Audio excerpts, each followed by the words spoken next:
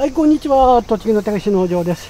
えー、キュウリのね、一本仕立て収穫します。で、今日はね、これから、えー殺虫剤をかけます。ウリハムシがね、かなりついてるんで、殺虫剤かけますので、えー明日は収穫しません。ですから今日はちょっとね、えー小さめのものまで、えー収穫しちゃいます。はい、一本仕立て一本です。